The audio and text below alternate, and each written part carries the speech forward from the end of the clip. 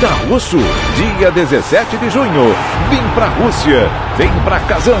Oito seleções, dois grupos, 16 jogos incríveis para você curtir de camarote na Band. Todos os lances ao vivo.